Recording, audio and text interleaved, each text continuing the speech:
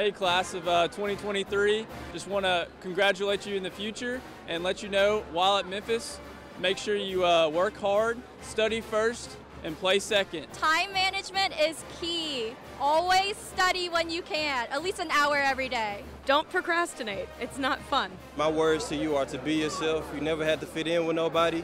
Stay true to yourself and do your homework. You'll be good. Never give up. It's gonna get hard, but you can get through it. Do not come dressed like you're going to prom. Just study hard and try to keep your GPA up because once it falls, it's really hard to get back up. Think before you uh, speak.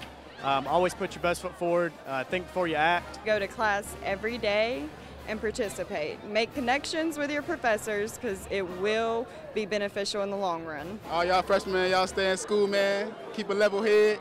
You gonna get it. Get involved. Try to join as many clubs, activities, groups as you can. Always believe in yourself. Always work hard and never doubt yourself because you never know what you can do. Actually study. Take the time to study. It's worth it.